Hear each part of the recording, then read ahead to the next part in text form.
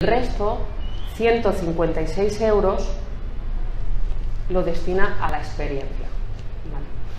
Pero de todo esto nos van a poder hablar mucho mejor dos grandes expertas en sociedad digital y dos grandes pioneras, como son, por un lado, tenemos a Mónica Figuerola, que desde hace varios años es una de las mayores expertas en turismo, en turismo colaborativo en España, siendo la primera persona española con un doctorado cum laude en economía colaborativa.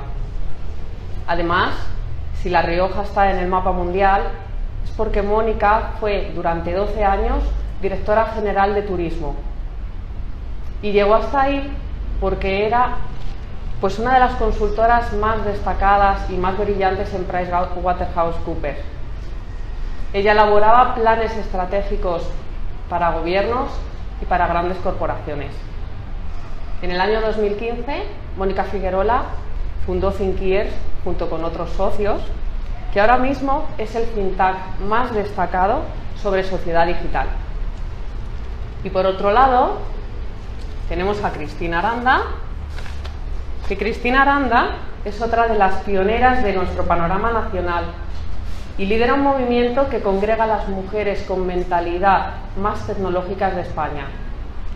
Este movimiento se llama Mujeres Tech y es un verdadero lujo contar hoy con la presencia de Cristina porque mañana empieza, ¿no? da comienzo el Congreso de Mujeres Tech y va a ser un verdadero placer escuchar las palabras de una mujer 3.0. Además, si vosotros os pensabais que la tecnología era una cosa solo de hombres, estáis muy equivocados, porque Cristina va a demostrar que eso no es así, ¿verdad? Para nada. y Cristina nos va a desvelar por qué la mujer es la auténtica creadora del siglo XXI. Ellas dos, Mónica y Cristina, son mujeres 3.0, son viajeras 3.0, pero su conocimiento es más bien infinito punto cero. Así que por favor me gustaría recibir con un gran aplauso a Mónica Figueroa y Cristina Aranda.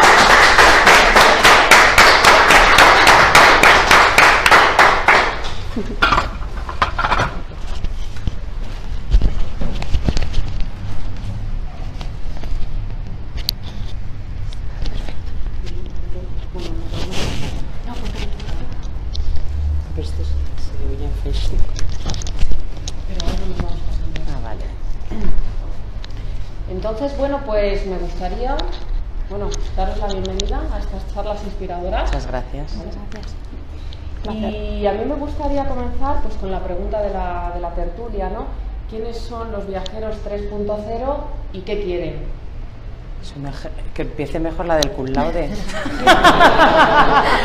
bueno, lo primero, me vas a permitir, Nuria y Cristina, que las gracias a, a Beth, al Club Beth, por haber contado, en este caso, con, con, mi persona, pero sobre todo para, para, hablar de un tema tan específico de la industria turística, que es mi industria, y para reflexionar sobre este concepto, que es verdad que lo oímos muy, de, de manera muy continua, pero yo quiero, como estamos en un um, club y en un periódico disruptivo, empezar siendo disruptiva.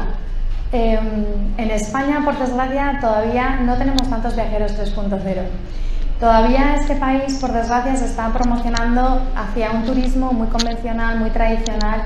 Y a mí me gustaría pues, utilizar este micrófono y este foro para, para reivindicar una política turística mucho más, eh, en ese sentido, innovadora y que apueste por, por esos viajeros 3.0 que existen, que son muchísimos, que hay eh, prácticamente en todos los países y sorprendentemente en mercados donde no esperamos que sean tan 3.0, yo estoy pensando en China, y que deberíamos pues apostar hacia, hacia ese nuevo viajero porque no es que sea el 3.0, es que es el futuro y por lo tanto la industria turística tiene que ponerse las pilas e intentar apostar por políticas turísticas que capten esos viajeros 3.0.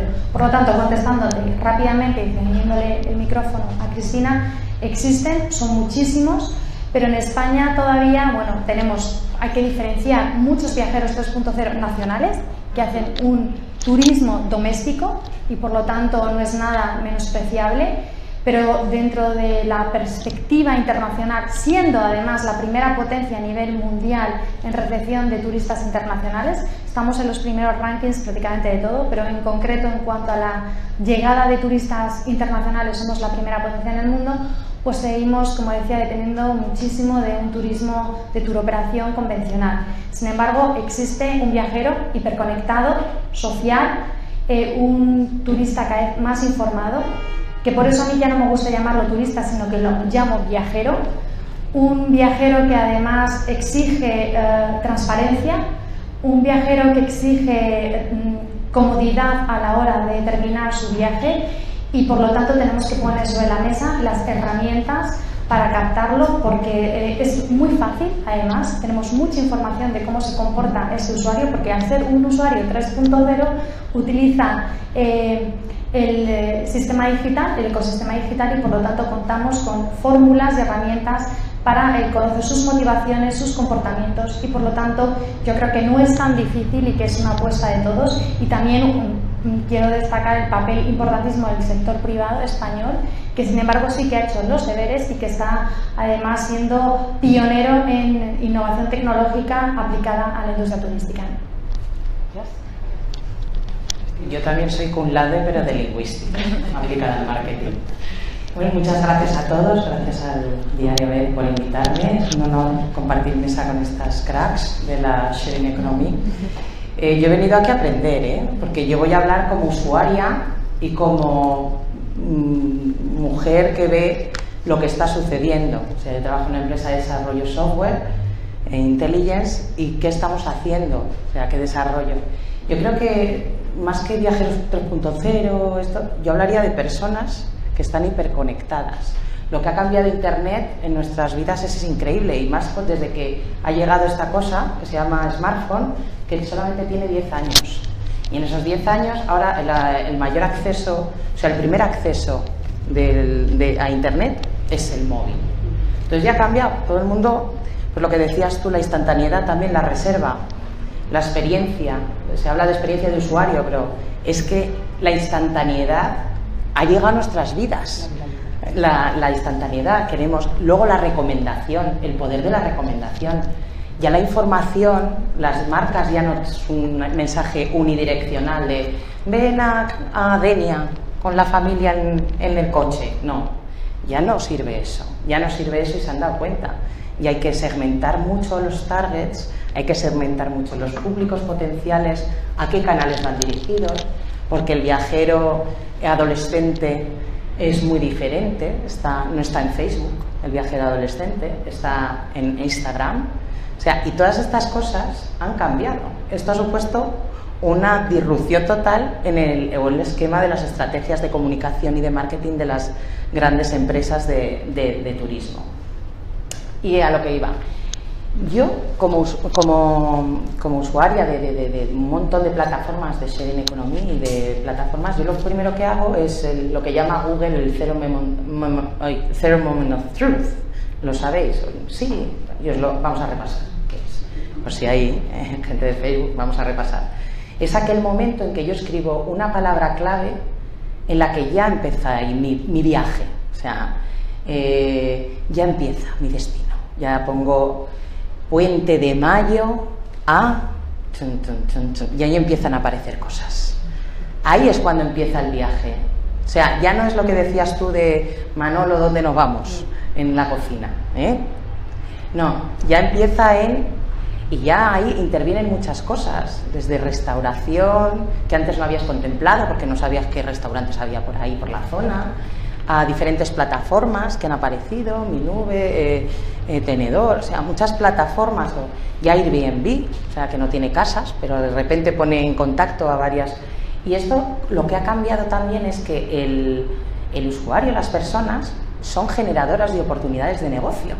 O sea, no solamente son consumidores de negocio, son consumidores de un servicio, sino que lo generan. O sea, algo que yo tenía que decía, ah, mira mi coche, ¿por qué puedo hacer con mi coche? Nada, pues sí, lo puedes alquilar. No solamente lo puedo alquilar por horas, sino luego también puedo invitar a alguien a, compartir mi viaje conmigo. O sea, la multiplicidad ya no solamente es viajar en avión, en barco, en autobús, O sea, se ha ampliado un montón el, el abanico de posibilidades que tiene ya un viajero 3.0, una viajera 3.0. ¿Y nos interesan este tipo de viajeros? Eh, bueno, eh, por, por, supuesto que nos interesan porque, como ha explicado Cristina, son viajeros que buscan experiencias mucho más integrales, que quieren de alguna manera convivir con los locales, que quieren interactuar con los territorios, que mm, quieren participar de la sociedad, que hacen eh, lo que realmente es la esencia del turismo, que es un intercambio cultural, que además tú dabas un dato, bueno, es un dato, me vas a permitir, sesgado de un informe de una plataforma peer-to-peer, ellos dicen Airbnb que se gasta más eh, probablemente en la experiencia fuera del alojamiento, eh, bueno, hay muchos informes, depende que los eh, publique, los datos bueno, pueden oscilar. Lo que sí que está claro es que el viajero quiere eh, em, integrarse, ¿no? Esto es una demanda de, de las nuevas sociedades, de los millennials. no quieren ir como esos turistas que iban a ver los sitios típicos, no se quieren perder lo que un local recomendaría y por lo tanto yo creo que interesan muchísimo porque tienen una mayor capacidad de integración y por lo tanto de gasto, ¿no? de vivir mucho más el destino. Y además, pues como digo, son mucho más fáciles de fidelizar si lo hacemos bien, porque tenemos muchísima información. Son mucho más fáciles de inspirar, porque también tenemos las herramientas de inspiración, como explicaba fenomenal Cristina, porque ya desde ese momento cero podemos impactarles, los destinos pueden tener las herramientas para conocer, si manejan bien los datos, para saber que, quiénes les están buscando y cómo impactarles y atraerles. Por lo tanto, podemos interactuar con ellos cuando se están inspirando, cuando están planificando el viaje, cuando están en el destino y están interactuando y les podemos, de alguna manera, gracias a que son viajeros 3.0 y a que tenemos herramientas tecnológicas que nos permiten estar en contacto permanente con ellos mediante la geolocalización, por ejemplo, les podemos hacer muchas propuestas que los destinos tienen que optimizar y que hasta ahora no se había hecho. Y por lo tanto, además, también tenemos en la, en la parte de final del viaje, cuando ya retornan, eh, la interacción puede ser brutal a nivel de compartir esas experiencias, fotografías, vídeos eh, en redes sociales, en todas las herramientas de recomendación que ahora son tan condicionantes y que también mencionaba Cristina. Por lo tanto, es un viajero que podemos fidelizar que podemos hacer que repita, que podemos utilizarlo como prescriptor como prosumidor, como generador de una prescripción hacia, hacia, este destino, como inspirador de otros viajeros y por lo tanto nos interesa muchísimo y por lo tanto yo defiendo que apliquemos eh, políticas de captación de ese viajero por encima de todo. Volviendo a, tu pregunta de si son necesarios o cómo era. Sí, eh, si nos interesan. Si nos interesan. Yo como persona humana, como diría la jurado de marketing, cualquier persona que vaya a entrar en nuestro funnel de compra, que va a ser, claro que nos interesan. Y máxime si está Internet por medio. Si hay plataformas que usan Internet y que hay un móvil de por medio. Claro que nos interesan y vamos, porque existen diferentes targets, diferentes públicos objetivos que es cierto que aún siguen teniendo pavor en compartir, por ejemplo, los datos de la tarjeta de crédito. Pienso en un usuario, usuaria, una persona como mi madre, que me dice, mm, te paso la tarjeta, cómpralo tú. ¿Eh? ¿No? Pensando que a mí no me van a engañar. Cuando... Pero con esos perfiles de más de 60 años, siguen acudiendo a Internet y siguen haciendo búsquedas y demás. Claro que nos interesa. Ahora bien, la estrategia de marketing es diferente es muy diferente. Como decías tú, a un millennial hay que impactarle de forma distinta. El millennial seguro está acostumbrado ya a compartir, o sea, porque ya ha nacido con, compartiendo eh, información, información y de hecho necesita información antes de realizar la compra. Es determinante. Y todo esto, claro que, eh, vamos, que yo lo considero básico. Una, claro que sí que es necesario. Ahora bien, son diferentes estrategias y ahí surgen diferentes modelos de negocio. Ahora se me ocurren, pero me los voy a guardar para mí. ¿Eh? Sí, se me ocurre algo. Sí. yo estoy de acuerdo. Además, eh, Mónica, además ya, introducía eh, emociones nuevas, ¿no? Como son... Ay, sí, gracias. Como son eh, la confianza, la transparencia, ¿no? Y, y sobre todo lo que tú dices, lo importante que es cuando acaba ya tu viaje poder viralizar. Que todo el mundo ya vea eso, no del boca a boca, no, no, viralizado, con una foto, ¿no? Con- Sí, sí, claro. Y sí, también estoy de acuerdo contigo, todo tiene que seguir una estrategia distinta, pero, pero al final yo creo que vamos todos a, a esa línea ya. Entonces, bueno, con esto que habéis dicho, ¿qué creéis? ¿Que es el, el viajero 3.0? ¿Pensáis que es el cliente eh, típico de hotel? ¿O más de alojamiento turístico? ¿Más de, de un apartamento? Me da, me da- es que Cristina y yo coincidimos prácticamente en todo lo que decimos y bueno, parece que si yo tomo la palabra luego No. le, le piso argumentos, pero bueno, podemos aquí replicarnos, ¿eh? Eh, yo hay una cosa que me, me parece muy interesante esta pregunta y seguramente nos la estamos preguntando los miembros de esta sala y la gente que nos está viendo desde Facebook. Eh, yo soy una viajera 3.0 de, libro, ¿no? Y sin embargo yo soy viajera de hotel y, y he sido una de las personas que más ha defendido eh, el alojamiento eh, en viviendas vacacionales en este país.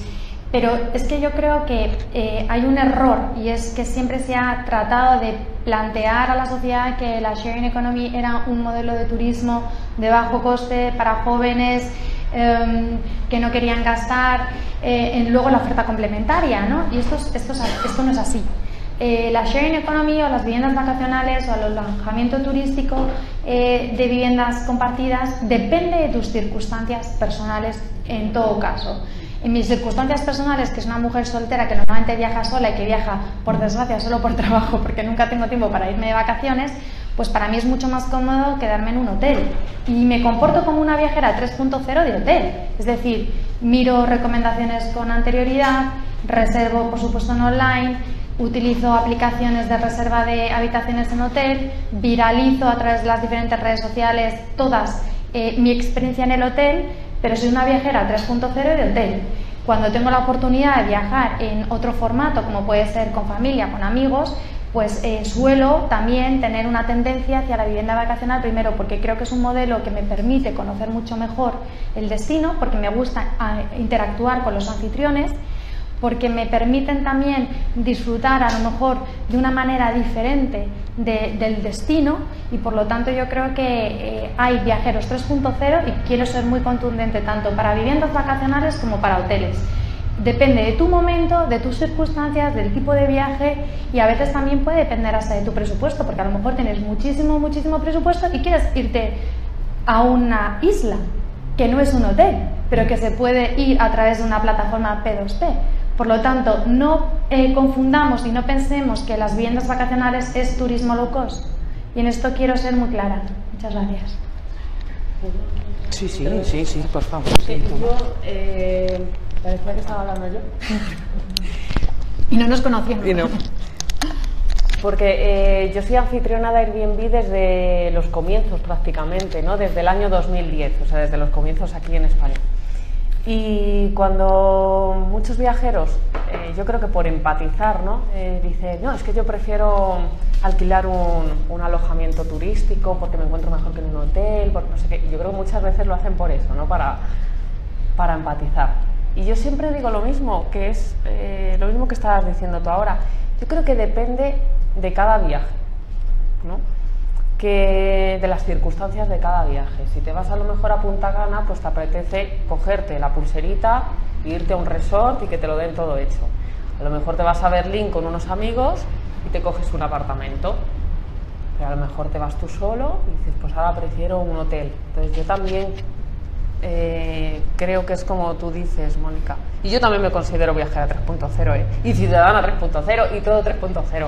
De, de todas formas, un pequeño matiz. Sí. Eh, No lo digo yo, es mi opinión, la estoy, estoy volcando mi opinión en este foro, pero es fruto de estudio de muchísimas eh, revisiones de informes, de literatura, de bibliografía, de expertos que están publicando y que han publicado sobre el modelo de negocio, el peer-to-peer, y que han hecho auténticos eh, eh, estudios de mercado, investigaciones de mercado sobre comportamientos de consumidores, tanto de eh, apartamentos o viviendas vacacionales y alojamiento tradicional. Es decir, podemos referenciar y podemos dar datos estadísticos fruto de, investigaciones en universidades y en instituciones y en escuelas de negocios. O sea, insisto, no es mi opinión personal, está de alguna manera argumentada en literatura y en, y en estado del arte.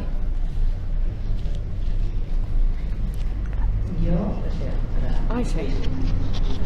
Sí, 500.000 que nos están viendo, o 2 millones, que yo sí que tengo la sensación, igual os pasa eh, a muchos de vosotros, yo en mi último viaje, este fin de semana he estado en UK, en London, bueno, en Newbury, y eh, me he dado cuenta de una cosa, y igual os ha pasado, que sí que es cierto que en determinadas plataformas se reserva, pero hay veces que llegas a hoteles y no están digitalizados la experiencia de usuario. Entonces tengo que eh, esperar un checkout, una línea tremenda y estar esperando ahí para irme, para entregar la tarjeta e irme. O sea, hay determinadas experiencias que no... Sí, muy bien, la reserva y todo eso, parece que, que el booking y todo esto, genial.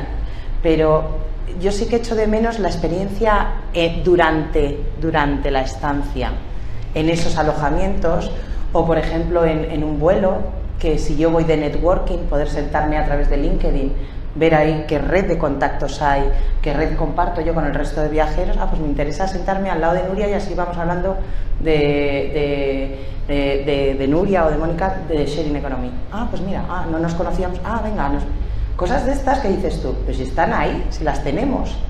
Dices tú, ¿por qué no se puede incorporar todas estas tecnologías de digitalización? Y volviendo a, lo de Viajera 2.0, vuelvo a decir que yo soy persona y utilizo Internet, que es la principal fuente de acceso a la información y la información y a lo mercantil ahora. O sea, yo consumo todo por Internet, porque soy mujer tech, pero también porque es súper cómodo. Estando donde esté, tengo acceso a cualquier oferta, a cualquier recomendación y es más, la puedo compartir, lo que decíais vosotros, el compartir rápidamente, que esto es increíble, lo del compartir. Y volviendo, coincido con vosotras, el contexto. Hombre, ¿con quién voy? Muy importante. ¿eh? ¿Con quién voy? Igual voy a un hotel, a una suite de lujo, me interesará más que irme a un Airbnb. Igual, ¿no? Depende de la experiencia que quiera yo tener. Y, a eso voy, coincido con vosotras en el contexto y sobre todo que somos personas y que vamos a ser todos viajeros 3.0 si no lo somos ya. Es que lo somos.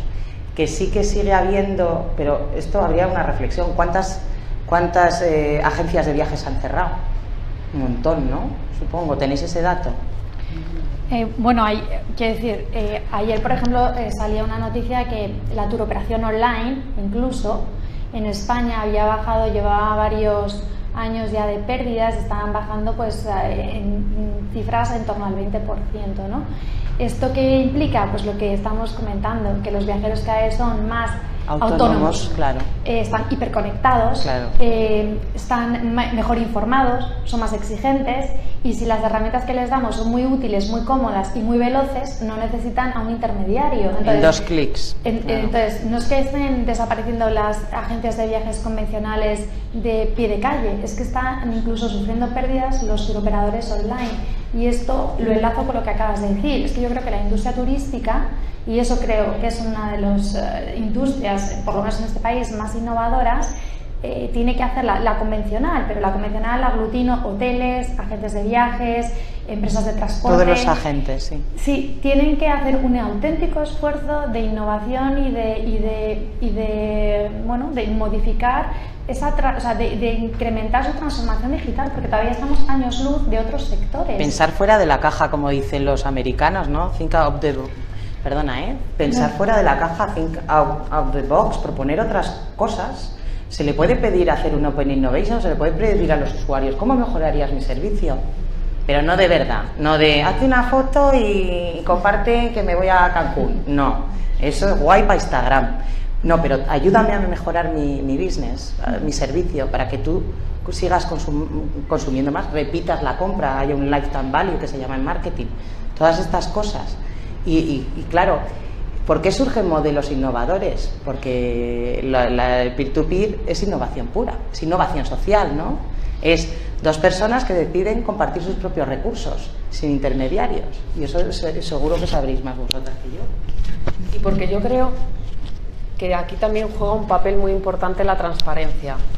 Que yo creo que a todos nos ha sucedido que tú reservas una, una habitación en un hotel, ¿no? Porque te habías imaginado, no sé, una noche romántica, con, bueno, pues no sé, yo creo que a todos nos ha pasado, ¿no? Has visto una habitación espectacular y te has imaginado que ibas a ir a esa habitación espectacular.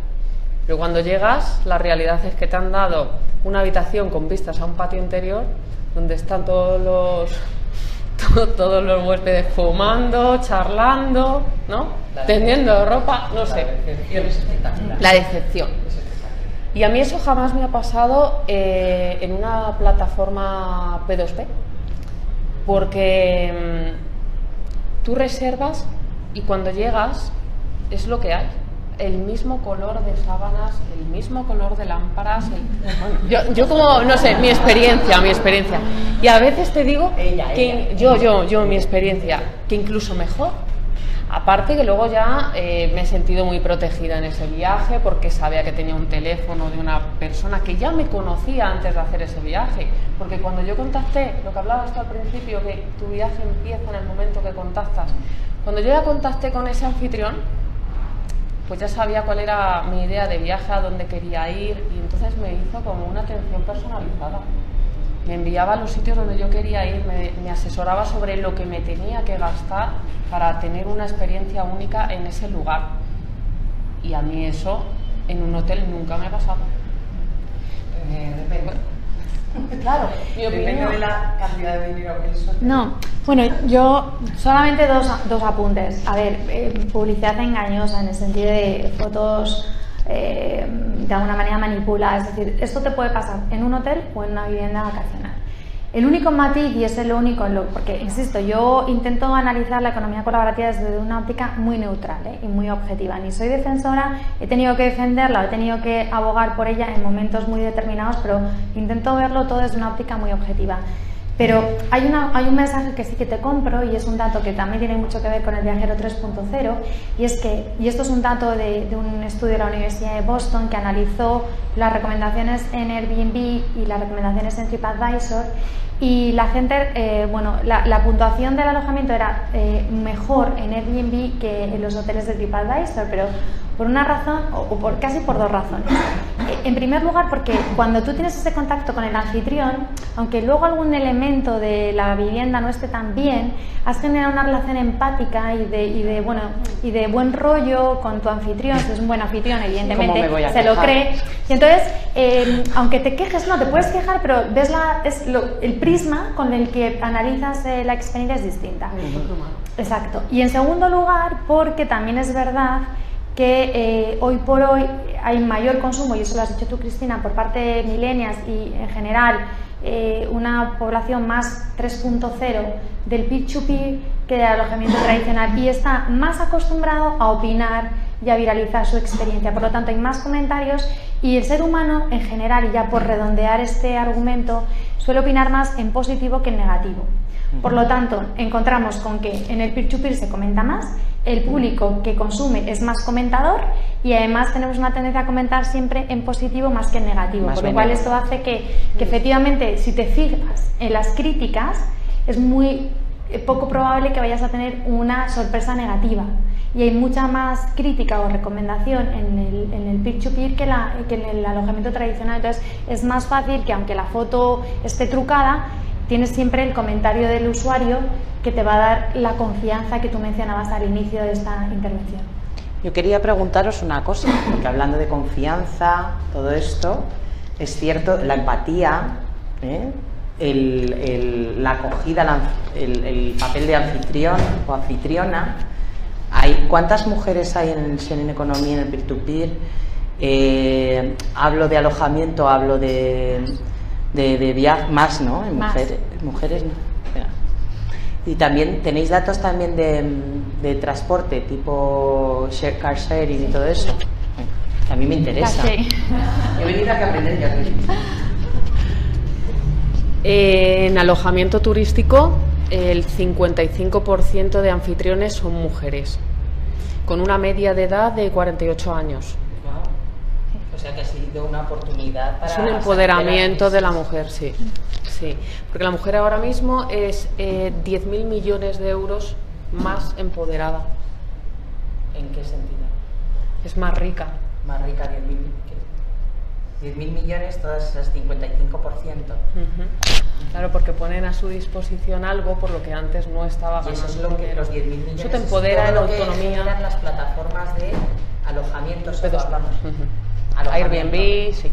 Bueno, yo hay dos datos como más, más de industria que quiero destacar y es la mujer en general con todo el mayor cariño a los hombres que nos están viendo, tiene un, perfil más, y esto también lo puede suscribir Cristina, más open-minded en cuanto a me voy a arriesgar, voy a poner mi vivienda, no tengo tanto miedo, me apetece ponerla bonita, me apetece acoger, tienes a, somos más hospitalarias en general ¿no? que el hombre. Entonces hay muchas muy buenas anfitrionas en el mundo y de hecho eh, también porcentualmente son más las anfitrionas. Luego se da otro factor muy importante y es que la economía colaborativa genera un movimiento social em, que, el experto lo tenemos en esta sala, que es el del ciudadano productor. ¿Cuántas mujeres están desempleadas y cuántas mujeres ven en la economía colaborativa una alternativa de yacimiento de empleo?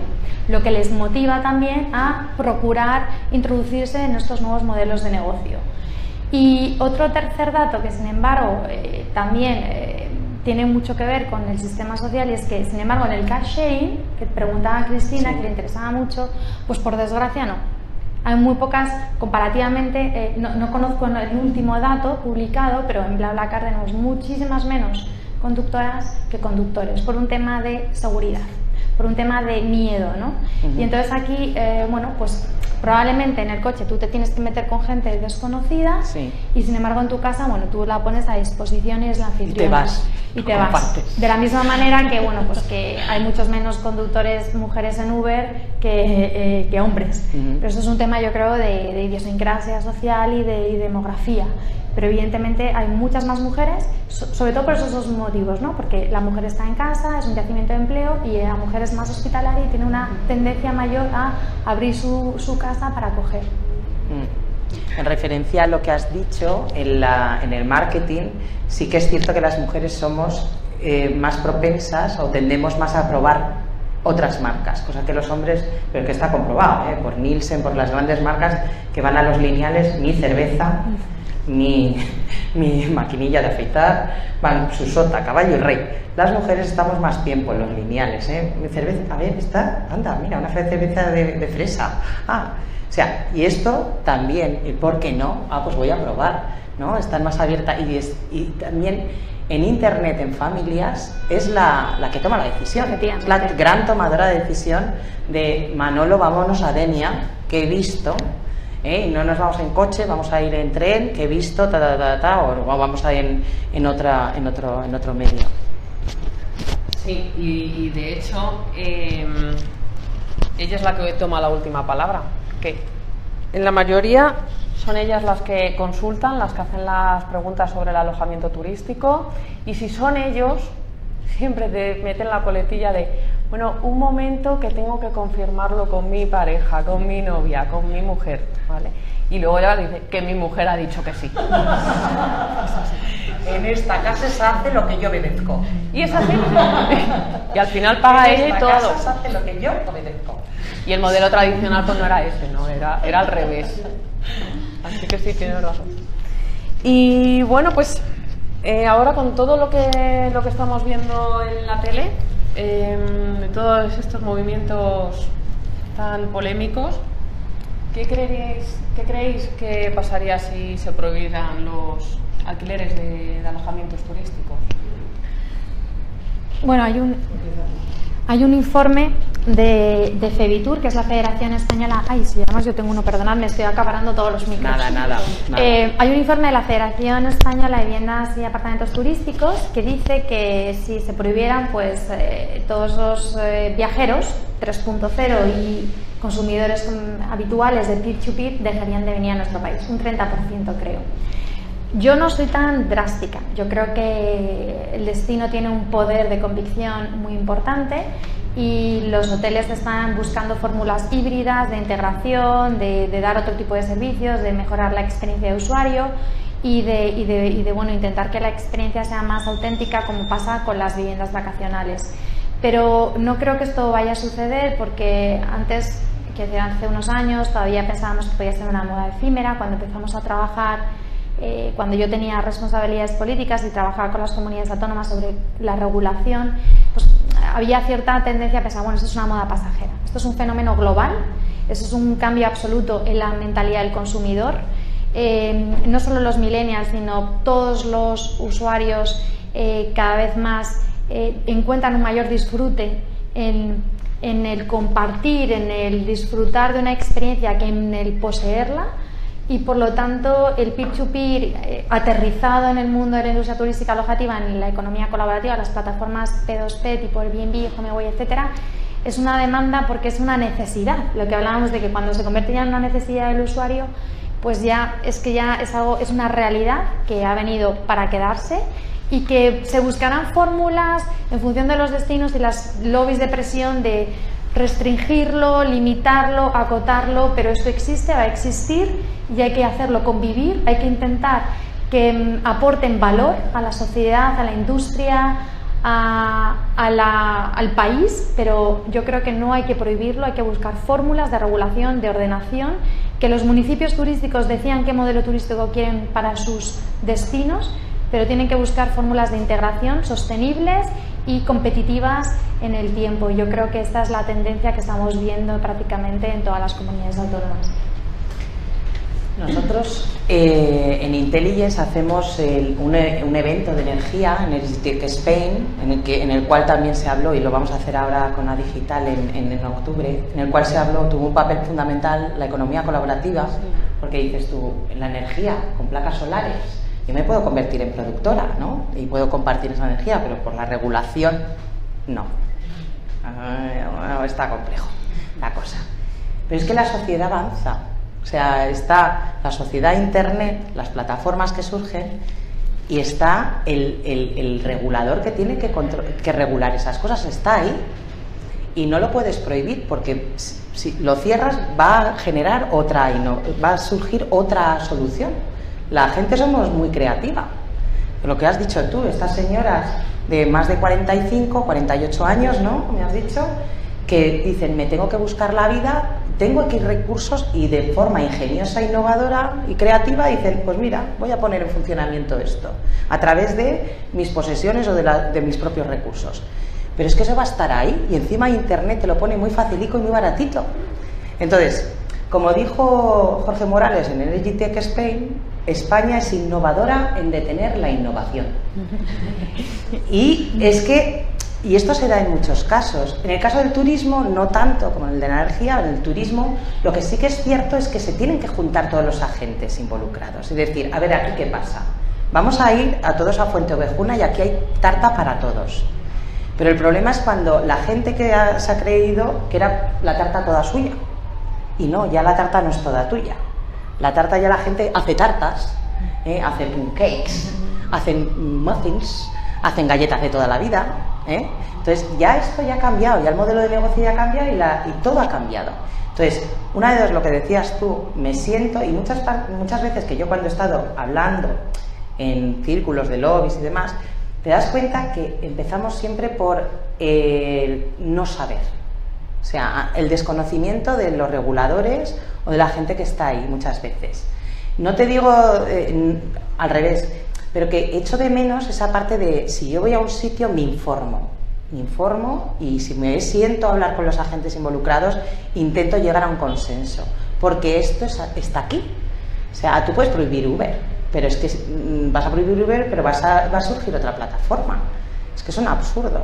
Y va a surgir de otra forma, porque si has prohibido a Uber por esto, por esto, por esto, España se inventó la picaresca, bueno, Apuleyo, ¿eh? la picaresca nació en España, ya nos inventaremos algo en España o en cualquier sitio. Pero es que, y luego, claro, luego surge de, jo, es que vienen las empresas americanas, claro, pero es que tú a las empresas, a las startups españolas no se lo estás poniendo fácil. Entonces, Todas estas cosas, ese ejercicio de reflexión, queremos eh, generar un win-win entre todos, el, reparto claro de la tarta, pero claro, para eso eh, un ejercicio de humildad, generar un ecosistema, no un ecosistema, como estamos ahora en los ecosistemas, y todo eso, claro, es difícil porque es innovación social, ¿eh? como ponía en el epígrafe de aquí, innovación social. Y volvemos otra vez, porque somos personas.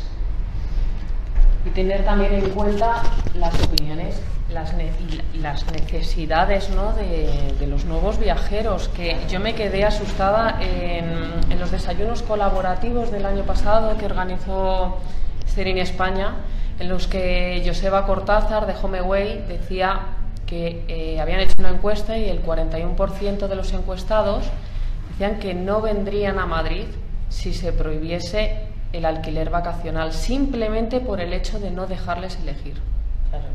Aquí eh, Airbnb habla del 25%, pero es simplemente porque no te dejen elegir dónde poder dormir.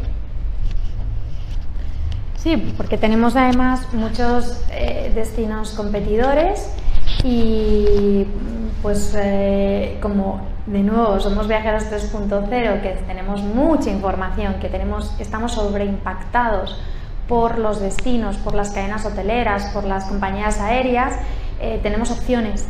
Y entonces lo que más demandamos es libertad libertad para opinar y para decidir. Y entonces, si de repente hay un destino que nos interesa, eh, pero no nos eh, lo permiten disfrutar como nos gusta, pues evidentemente lo cambiaremos eh, inmediatamente. Esto es como lo de las compañías low cost aéreas. La gente ha empezado a viajar no donde quería, sino donde tenía un vuelo de bajo coste. Entonces es que al final eh, los seres humanos pues mm, eh, van, eh, em, tienen unas tendencias que, que son muy, replicables en, las diferentes industrias y que por lo tanto tenemos que tener mucho cuidado. Por eso yo siempre digo que hay que buscar fórmulas donde haya espacio para todos. como decía Cristina, es súper importante el consenso. Yo siempre he demandado una mesa de diálogo con todos los stakeholders, con todos los players, con los gobiernos autonómicos, con los ayuntamientos de un determinado número que puedan también tener que opinar sobre su política turística, sobre eh, los usuarios, las asociaciones de consumidores, las plataformas, los legisladores, los lobistas. Tiene que haber una mesa de diálogo donde se pongan las cartas sobre la mesa y se busquen soluciones de consenso y con buena fe. Y en ese sentido yo creo que, bueno, pues esa es la línea a seguir, esa es la hoja de ruta y que nos esté escuchando y tenga algo que ver en esto, pues que, no sé, que, reflexione al menos. Ojalá.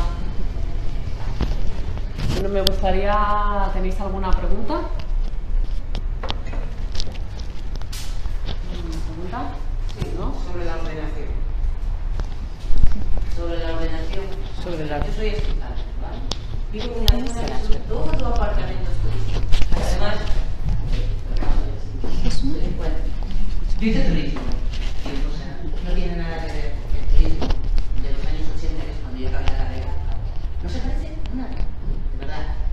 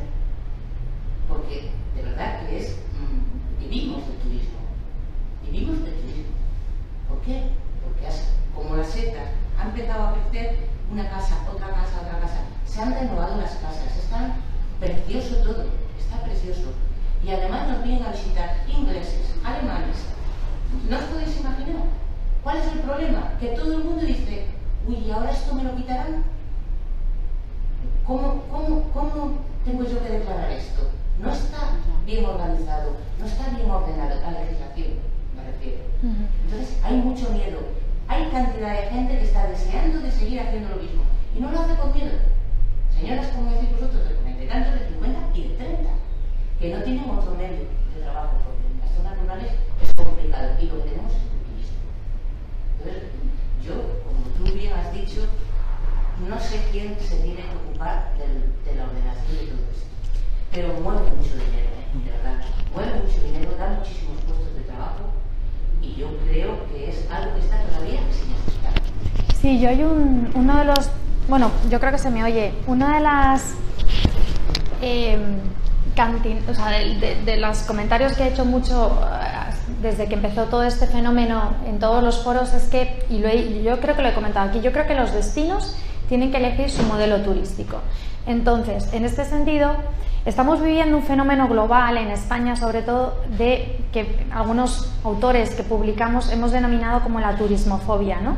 Lo vemos en Barcelona, lo vemos en núcleos eh, muy masificados. Y esto está produciendo un auténtico eh, rechazo de determinados eh, políticos hacia el turismo y yo creo que con mucha frivolidad y que tenemos que tener mucho cuidado porque, insisto, es que el turismo es la primera industria de este país, es que implica el 12% de nuestro PIB, entonces eh, busquemos fórmula de ordenar para que no genere impactos negativos ni externalidades negativas en la sociedad, ni en, las, ni en los territorios, ni en las ciudades, ni en los diferentes ecosistemas eh, sectoriales. Pero lo que sí que está claro es que los destinos tienen que elegir su modelo. Entonces, por ejemplo, tú me pones un ejemplo de destino, de zona, que efectivamente eh, yo creo que debería apostar por este tipo de modelo porque no tiene una masificación hotelera como tienen otros.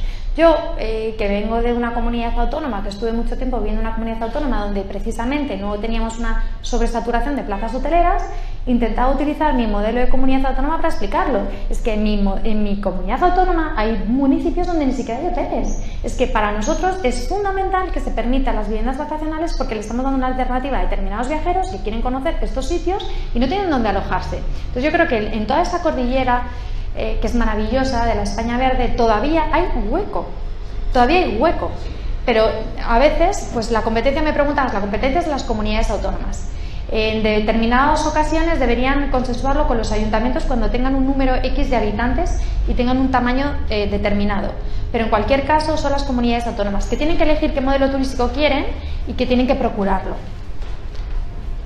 Yo quiero decir, eh, pensando en una solución, una posible solución, porque yo soy más de soluciones que de problemas. Aquí hay un problema y que encima que es muy importante, lo que decías tú que es relevante y básico para la economía de muchas personas. La tecnología lo soluciona. ¿Qué pasa, por ejemplo, en un sector como el juego online? Pues ahí el tracking, el gobierno tiene el tracking de todo lo que pasa dentro de las plataformas de juego online para ver quién gana y quién no gana, y quién declara y quién no declara. ¿Por qué no se hace eso en, en- pues que sea el gobierno de turno o la, o, la, o la gente competente de turno quien ponga esa tecnología, que nos proponga la tecnología? A vosotros os genera riqueza y a ese gobierno también le genera riqueza, porque a través de esa plataforma va a poder ver el tracking de cada reserva y de todo, y tú le vas a tener que pagar un impuestito. Claro, tú, aquí lo que exigimos es la igualdad, o sea, que eh, ayúdame a ganar dinero, ganemos dinero entre todos. Y la tecnología esto lo permite. ¿Por qué no se piensan en soluciones tecnológicas? Bueno, hay un debate bastante... Pero en el juego online se da. Pero hay un- ¿Por qué en el juego online sí y en el turismo rural no? El turismo también, ¿eh? tienes que ir a la policía, enseñarle a cada viajero que Sí. tiene Sí, la sí, casa. sí, pero no es tecnológico, no es rápido. No es rápido que... y- o, estamos hablando de, de- cuántas personas vienen a consumir, cuántas personas se alojan, cuánto yo declaro, todas estas cositas que la tecnología te lo permite.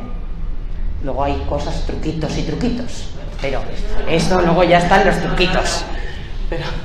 Bueno, aquí entramos en otro de los debates de fondo de por qué sí, por qué no el peer-to-peer. Bueno, pues porque la mayor parte de las plataformas no están alojadas en España, no hay competencias por parte de la Secretaría de Estado de la Social Información y Agenda Digital sobre el control de estas plataformas. Hay una directiva europea que les exime de la justificación o de la responsabilidad de los contenidos que publican y entonces eh, entramos en un, en un problema de, de, regulación comunitaria claro. que están además afectando directamente a la ley de la sociedad de la información y del comercio electrónico español que tiene que de alguna manera aplicar o ejecutar esa directiva. Entonces son palabras mayores es muy difícil para los gobiernos controlar esos contenidos para tener una regulación. Yo abogo por, por un ¿Y control más de lanzar agencia un tributaria. pilotito. Yo vengo del mundo Agile del mundo Lean Startup yo creo que que, yo, te- yo creo, Cristina, que tienes que hablar de este tema con el secretario de Estado preséntamelo ¿eh?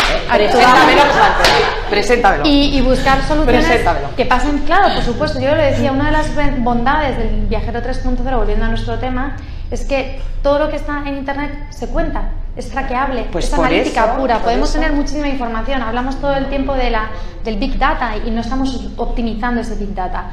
Pero yo creo que una de las soluciones, y siempre lo digo, es una muy buena, eh, eh, digamos, cruce de datos con la agencia tributaria y, y, bueno, y todas las entidades que tienen algo que ver, implicadas, que de alguna manera colaboren. De nuevo volvemos a esa mesa de diálogo donde estén todos los agentes, todos los afectados y eh, se busquen soluciones que sean eh, realistas y posibles. Bueno, pero hablamos de Big Data y nos metemos con Machine Learning, que el Machine Learning te da sentido a esos datos. O sea, la tecnología ahora está avanzando mucho más rápido de lo que avanza la sociedad. O sea, sería cuestión de lanzar un pilotito. Preséntame al Lo, lo secretario. hacemos, lo hacemos. Eso, le proponemos un pilotito ahí en, en Llanes, ¿no? Y ya está. Y se va viendo. Oye, que funciona. Pues mira, ya escala. Porque muchas veces a los gobernadores y a toda la gente que tiene que tomar grandes decisiones de gran impacto, sobre todo de innovación social, es que necesita datos. Datos. Y esto funciona y no funciona. Pero lanzando un pilotito, yo supongo que habrá. ¿Quién, quién sabe de leyes y de cosas? Entonces, ya nos, ya nos complicado. juntaremos, ya nos juntaremos en brainstorming. ¿Tenéis alguna otra consulta? ¿Sí? En realidad es una pregunta muy sencilla. Es ¿por qué si al final crea tanta riqueza para todos, en los movimientos salariales todavía no están regulando la cosa para favorecer el crecimiento de todos? Bueno, eh, es mi opinión personal y no representa ninguna institución ni, ni- quiero decir, es mi opinión como investigadora. Es un, es un problema demasiado complejo todavía como para tener una solución eh, fácil. Eh, es un problema que afecta a una industria muy atomizada, con muchas eh, asociaciones, con muchos ecosistemas, como has dicho, me ha encantado esa expresión. Y por lo tanto hay muchos lobbies de presión que tienen intereses contrapuestos en esta cuestión. Y entonces, por un lado, tenemos unas políticas a veces cortoplacistas porque dependen de elecciones autonómicas que eh, tienen vigor cada cuatro años, que cuando a lo mejor entendemos el problema ya nos estamos marchando.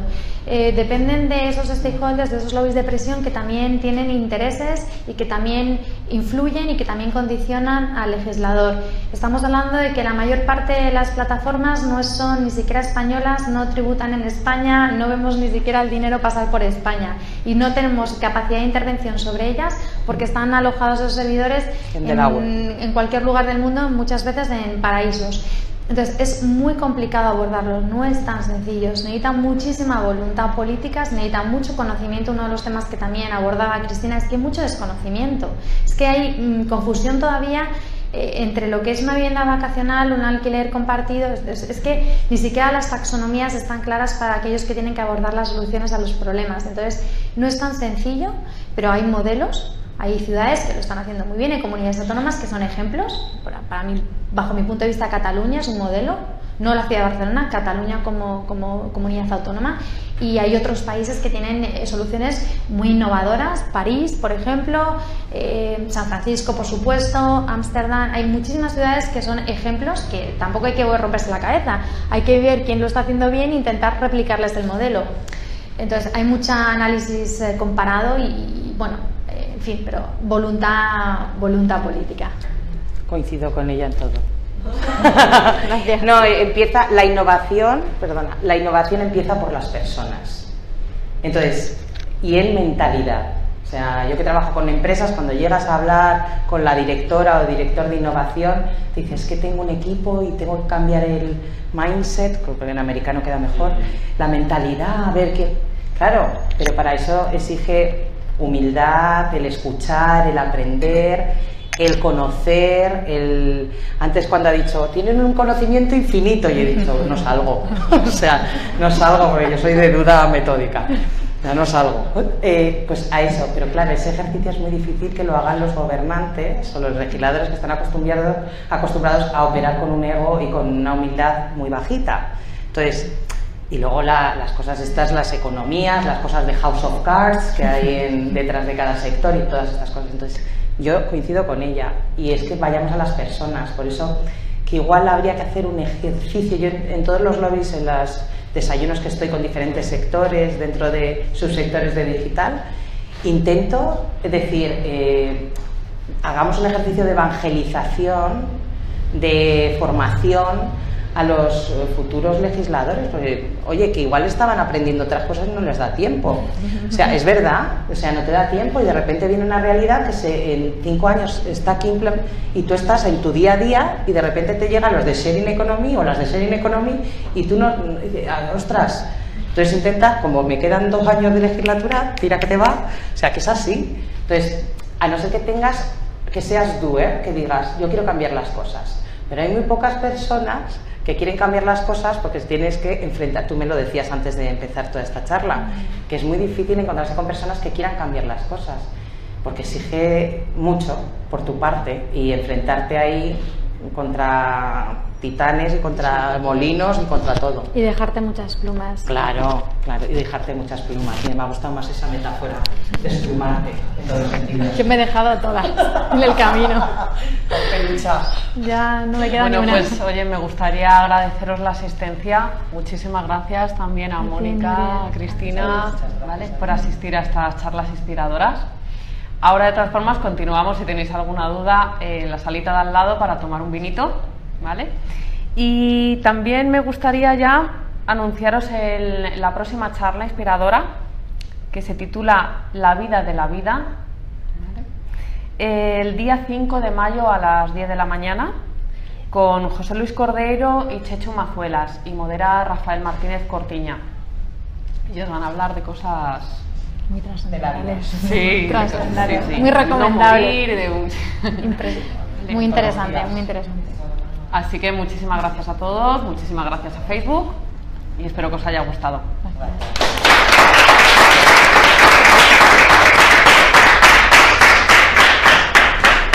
pues qué pena que no me puedo quedar.